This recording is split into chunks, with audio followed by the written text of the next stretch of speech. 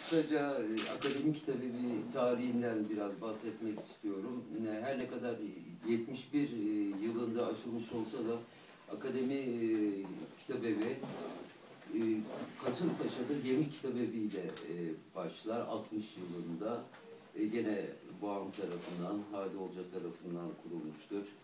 Kuruluşunda ve devamında Akadet, Orhan Kemal, Kemal Tahir, Halim Şefik, Recep Usta, Doktor Müeyyet Boratav, Doktor Sevinç Özgüner gibi birçok yazar ve aydınların da Kasımpaşa'daki Gemi Kitabevi buluşma noktasıydı.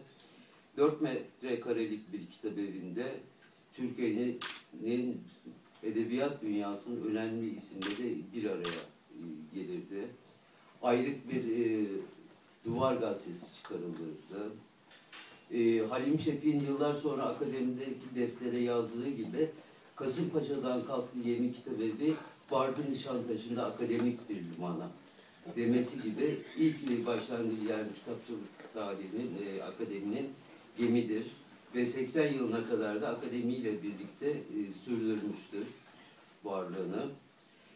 Akademi Kitabı 71'de açılışından kısa bir süre sonra her cuma olmak üzere sistemli bir e, şekilde imza günleri geleneğini başlattı.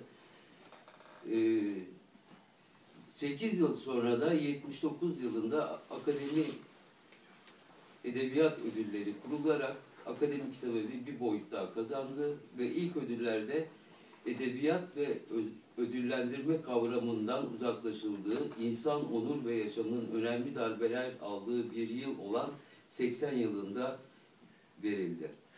80 ve takip eden zorlu yıllarda Akademi Edebiyat Ödülleri edebiyat floramıza yeni yazarlar katılımı için adeta bir sera olmuştur. 80-91 yıllar arasında 5 dalda 79 esere ödül verilmiştir. İlk eserleri eserleriyle Akademi Edebiyat Ödülü alan eser sahipleri aynı eserleriyle başka ödüller aldıkları gibi sonraki eserleriyle pek çok ödül almışlardır. Birçoğu günümüzde de edebiyat dünyasındaki yerlerini sürdürmektedir, sürdürmektedirler.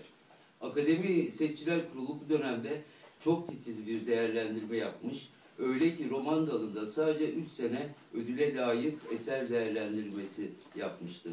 O dönemde Akademi Edebiyat Ödülleri Seçiciler Kurulu'nun bu titiz çalışması ile bağımsız ödüller arasında eşsiz ve efsanevi bir yer edinmiştir. Biz bir efsane olarak kalmaması için Akademi Edebiyat Ödülleri'ni yarınlara taşımaya karar verdik. Ne rastlantısıdır ki bugün de ödüllendirmeden çok cezalandırmadan bahsediliyor. İnsan yaşam ve onuru ciddi darbelere maruz kalıyor. Bugün insan onur ve yaşamına, insanlığın barışına ne kadar ertelenemez bir gereksinim var ise edebiyatımızın geleceğine, sürdürülebilirliğine ilişkin genç kalem, genç kelimelerde o kadar gereksinim var.